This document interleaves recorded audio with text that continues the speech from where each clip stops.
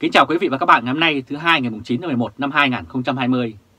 Kính mời các bạn xem bản tin Tổng thống Trump vác đơn đi kiện liệu có thành công. Nếu muốn làm thay đổi kết quả bầu cử ở các bang thông qua tòa án, ban vận động của ông Donald Trump phải đưa ra lập luận rất vững chắc và bằng chứng xác thực vì tòa án tối cao đòi hỏi rất cao. Một luật sư gốc Việt ở California đã nhận định với Đài Tiếng Nói Hoa Kỳ như vậy. Trong lúc đang bị ứng viên Đảng Dân Chủ Biden dẫn trước, Tổng thống Donald Trump tuyên bố sẽ có những hành động pháp lý để lấy lại cuộc bầu cử mà ông cáo buộc là đã bị đánh cắp.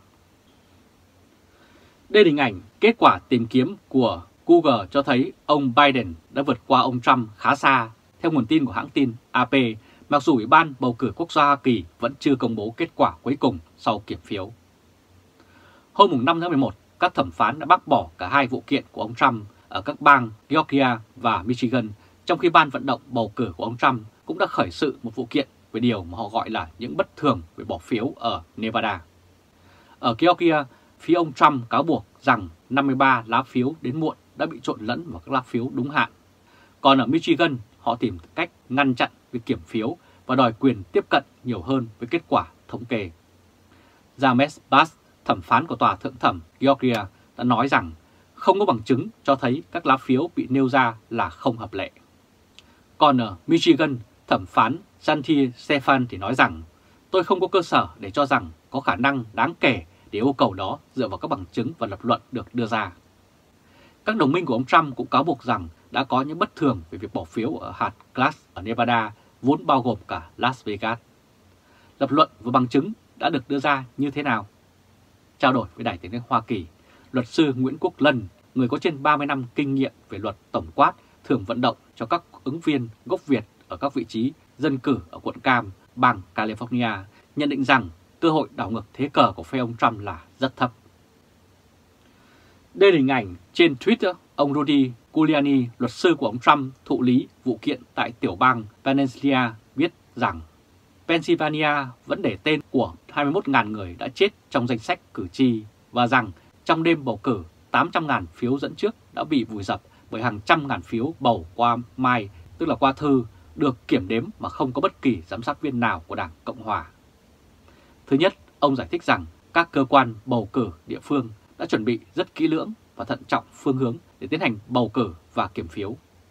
Thứ hai, khi xem xét các sai sót mà bên nguyên đơn cáo buộc, tòa án phải xác định 3 vấn đề. Có phải cố ý nhằm đổi kết quả bầu cử hay không? Có thay đổi được kết quả địa phương đó hay không? Có nằm trong một âm mưu chung của một phần nào đó hay không? Họ phải chứng minh rằng các biện pháp đưa ra trong thời gian bầu cử, ghi danh bầu cử và đếm phiếu là những phương thức phạm luật để chèn ép hay ém phiếu cho ứng cử viên nào đó. Thứ ba là bên nguyên phải đưa ra bằng chứng xác thực và chấp nhận được, chẳng hạn như một tấm hình chụp ảnh mà họ cho là gian lận thì phải tìm được người chụp tấm ảnh đó để xác thực là ảnh chụp vào lúc nào, ở đâu, đứng ở vị trí nào và xác nhận là có các chi tiết như trong ảnh. Ông Lân đưa ra ví dụ. Còn đối với cáo buộc là có thêm 100.000 phiếu không rõ nguồn gốc bầu cho ông Biden chẳng hạn, thì tòa sẽ xem xét là xảy ra phòng phiếu nào và xem lại tiến trình đếm phiếu từ hồ sơ kiểm phiếu cho đến từng lá phiếu được kiểm trong khoảng thời điểm bị cáo buộc. Họ giả soát rõ ràng như vậy chứ không thể căn cứ vào các tin tức người này nói có gian lận hay video hình ảnh lan truyền trên mạng. Những cái đó tòa xem là nhảm nhí chứ không phải là bằng chứng trình bày trước tòa. Tiêu chuẩn thì rất là cao, rất là khó, chứ không phải như người ta thường đang vẫn nghĩ là có hay không có, có nghi ngờ hay không nghi ngờ. Ông giải thích về yêu cầu khắt khe của tòa án. Và tối cao pháp viện có giúp cho ông Trump được hay không cũng là một câu hỏi được đặt ra. Đây là hình ảnh 20 năm trước, truyền thông đã sớm đưa tin Ego đã thắng cử và trở thành Tổng thống tiếp theo của Hoa Kỳ. Sau đó, các hãng tin đã phải rút lại dự đoán của họ sau khi tối cao pháp viện đã xác định rằng ông Ego không và ông Bush đã thắng cử. Về khả năng tối cao pháp viện, trong đó có 3 thẩm phán do ông Trump đề cử, sẽ ra phán quyết có lợi cho ông Trump. Vị luật sư này không cho rằng các thẩm phán sẽ ra phán quyết theo tình cảm đảng phái. Mặc dù trong lòng họ có thể có tình cảm đảng phái, nhưng các vị thẩm phán của tòa án tối cao không thể quyết định một cách bâng quơ, không có bằng chứng, không có lập luận. Nếu họ quyết định mà không có căn cứ pháp luật thì uy tín và danh dự của vị thẩm phán cũng như danh dự của tối cao pháp viện sẽ tan thành mấy khói, theo luật sư Lân nói và khẳng định hệ thống tư pháp của Mỹ làm việc một cách độc lập chứ không phải tuân theo bất cứ chính quyền nào.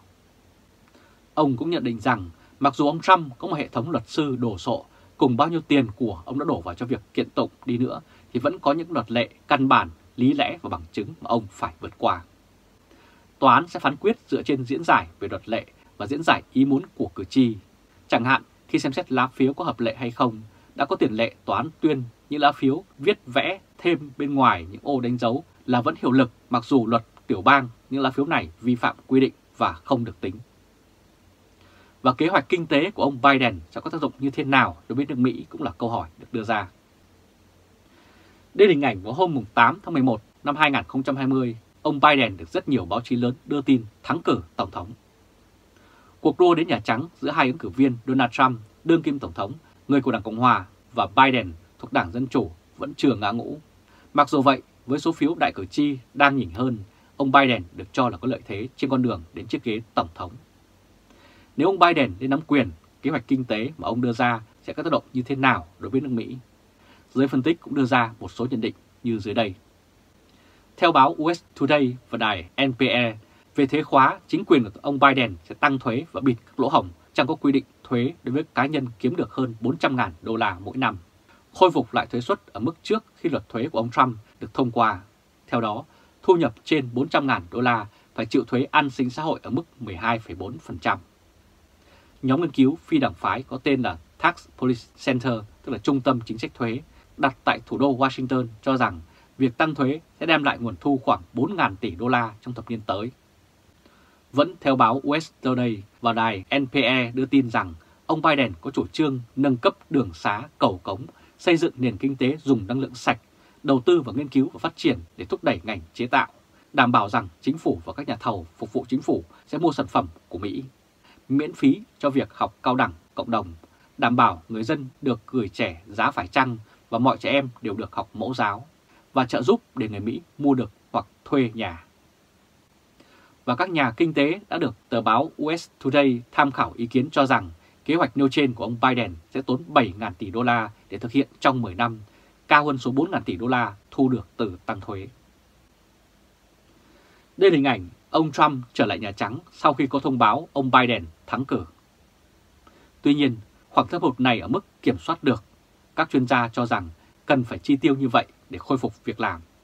Một khi mọi người có việc làm trở lại nước Mỹ có thể nhanh chóng chuyển sang lo cho việc giảm nợ nần, theo lời của các nhà kinh tế đã được tờ báo West Today dẫn lại. Về thương mại với Trung Quốc, theo tờ West Today, ông Biden nhiều lần khẳng định sẽ có các hành động mạnh mẽ chống lại việc Trung Quốc xuất khẩu ồ ạt sản phẩm theo kiểu bán phá giá vào Mỹ, cũng như ông sẽ chống việc Bắc Kinh thao túng tiền tệ và một số hành vi xấu khác. Nhưng ông Biden cũng nói ông sẽ tập hợp các đồng minh của Mỹ lại để đối đầu với Trung Quốc thay vì phải đơn thương độc mã như trước đây.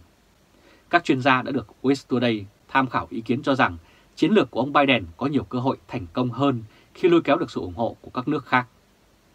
Trong lĩnh vực đáng quan tâm là các quy định luật lệ,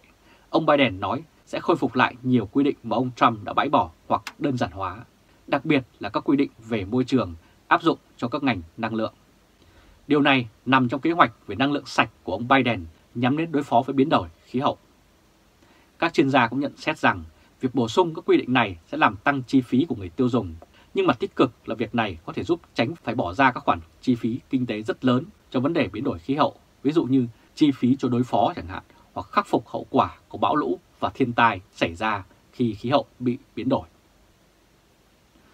Đây là hình ảnh, mặc dù ông Biden tuyên bố thắng cử, nhưng với ông Trump thì cuộc chiến pháp lý mới chỉ bắt đầu.